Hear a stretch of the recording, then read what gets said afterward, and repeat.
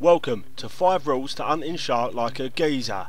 Yeah, like a geezer, not like some berry eating bitch. Rule 1, you've got to train the pain. You've got to be the pain. You've got to accept the pain. Bosh! Gravel in the face. Accept it. Learn from it. Yeah, that's what I live for.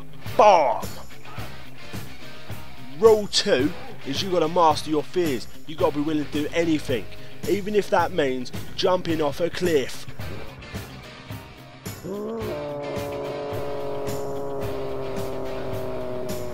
Rule 3 Relentless conviction.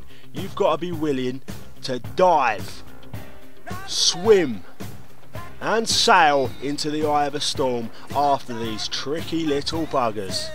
Rule 4 is weapon choice, and because you're a geezer, you don't go blowing stuff up with grenade launchers, you use a knife. That's right, a knife. Rule 5, never back down. You've got to show them that you're not swimming away, or else they're going to come up and get you. You've got to swim after them, and you've got to be like, Oi, shark, I'll stab you, I'll trip you, come on. Come on, mate, stop swimming away, stop being a pansy. Bloody fast little bugger though, isn't he? Come on. I'm going to stab you, I'm going to gut you like a fish, mate. Like a big, big fish. Oh, god damn it. Oh. Oh, oh, so, oh, no, no.